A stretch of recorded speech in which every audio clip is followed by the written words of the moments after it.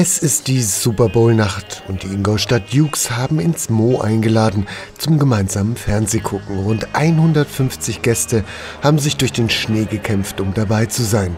Denn American Football ist aktuell extrem angesagt. Es gibt ähm, ja, äh, Überlegungen oder auch Zahlen darüber, ähm, die ich jetzt gerade auch ähm, erst mal rausgefunden habe. 60,2 Millionen Bürger kennen wirklich American Football.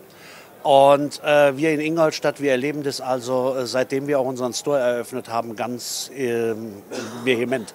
Ja, also es ist richtig Rambazamba im Augenblick im Haus der Ingolstadt Dukes. Und ein neuer Mann soll für noch mehr Rambazamba sorgen. Der neue Quarterback, Trey Stewart III., kommt direkt aus Dallas zum Public Viewing. Ich habe wirklich noch nichts gesehen. Das ist mein erstes Mal in dieser Stadt, aber sie ist wunderschön. Sowas habe ich noch nicht gesehen. Das ist nicht vergleichbar mit Dallas, wo ich herkomme. Was für ein Einstieg in die Saison.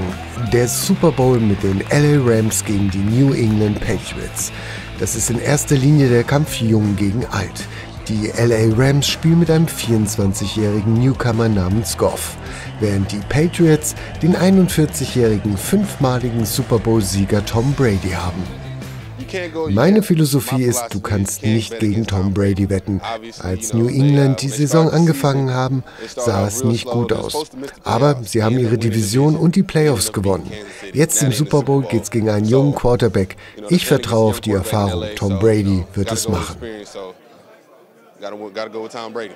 Was der Mann geleistet hat, hm, das muss man einfach auch mal, äh, das muss man auch mal anerkennen.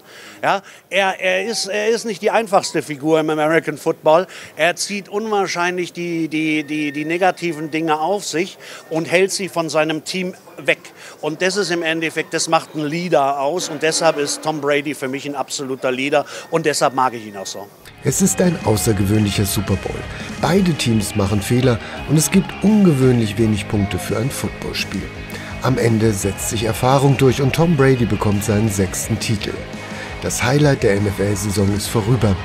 Wer jetzt aber nicht bis zum Saisonstart im September auf Football verzichten will, dem seien die Dukes ans Herz gelegt. Bei denen geht's schon im April wieder richtig los. Also äh, wir fangen äh, mit einem äh, Trainingscrimmage an am 13. Äh, äh, April. Ähm, haben dann unser erstes, ja, unsere erste heiße Bewährungsprobe am 20. April gegen äh, Potsdam. Und bevor es dann 14 Tage später direkt gegen den deutschen Meister geht.